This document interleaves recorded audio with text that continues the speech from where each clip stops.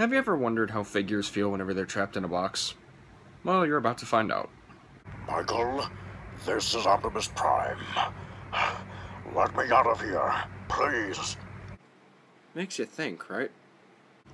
So yeah, guys, uh, this is kind of just to hold you over until I get the rest of the Constructicon video reviews up. But uh, I went out to the grocery store with my dad, we picked up the groceries, and um, I was told I could get one figure by my mom. And uh, I got Optimus Prime. So, yeah.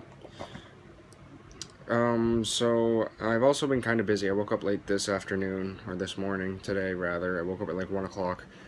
Um, yesterday I had a personal problem to deal with, and, uh, you know, that's why the rest of the reviews weren't up, so um, I owe you guys three video reviews, and uh, Monday I'll just do the uh, the rest, including Devastator.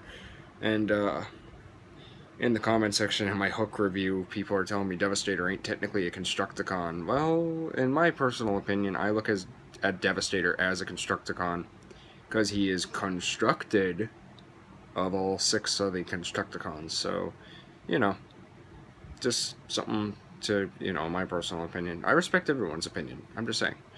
And um, I also want to welcome my new subscribers. I'm currently up to 197 subscribers, so three more guys, and uh, I'll be at 200. So that's great. Thank you guys so much. And uh, do be expecting some new stuff coming to my channel, such as some Transformers stop motion battles, um, some Transformers miniseries, and some other stuff. So yeah.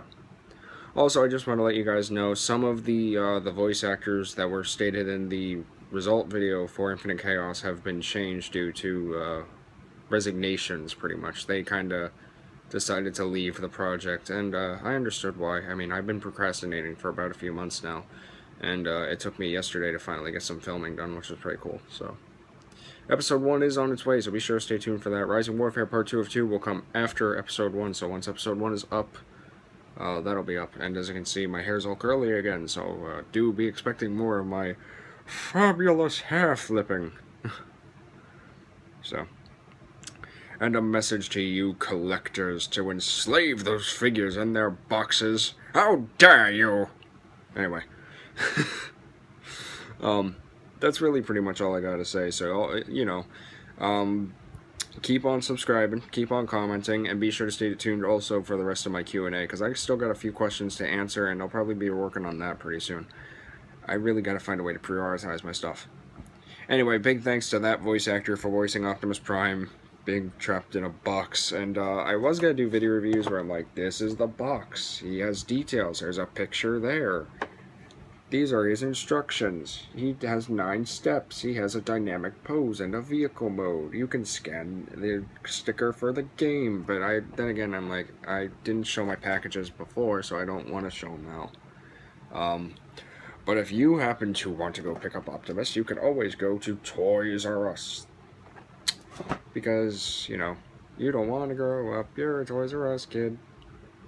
Anyway, got this hair wants to mock me It keeps getting in my face. You it out of my face. Okay. Anyway, guys, uh, that's really pretty much it for this video. So you guys know what to do. I ain't going to do the mo long monologue for an update because that's boring. But please be sure to like, comment, share, and subscribe for more of my awesome videos. And be sure to stay tuned for next Tuesday, or actually rather Monday at midnight, for my official gameplay of Transformers Devastation.